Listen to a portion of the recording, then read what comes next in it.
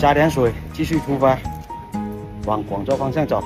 加满了，出发出发，双后。左转错了，在这边了吧？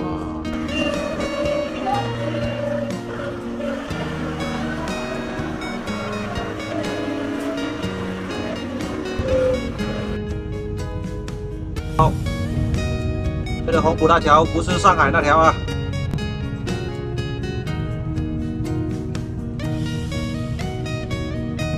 人算不应该算了，这么塞车，这个交警叔叔辛苦啦。